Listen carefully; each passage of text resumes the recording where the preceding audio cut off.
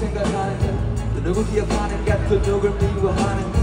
누구 위해 사는가 또 누굴 위해 웃는가? 누구 위해 우는가? 이것이 살아가는 그 성인한 단어에 그것을 남들게 쉽게 잊고 사는 것이 말이야 사랑이다 당신이 그리워하는 것은 그대.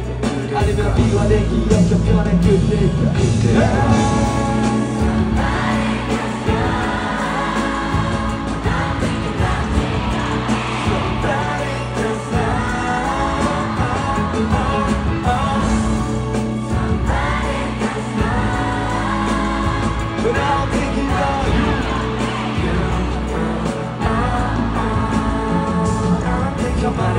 게 없지 인간관계는 정말 어려워요.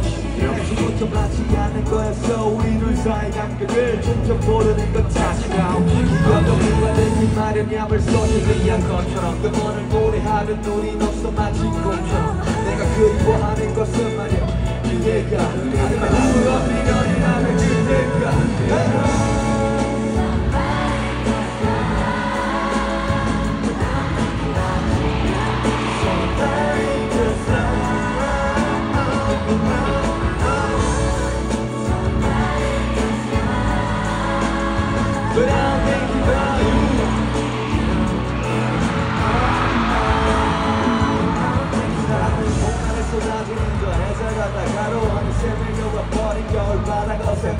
우리가 그리워하는 것은 그대가 아니면 추억 속에 묻어버린 그대가 난 그저 말없이 숨으려 해 비바된 그때를 회상하기엔 수고스럽게 우리가 추억하고 있는 건 그대가 아니면 추억 속에 웃고 있는 그대가 か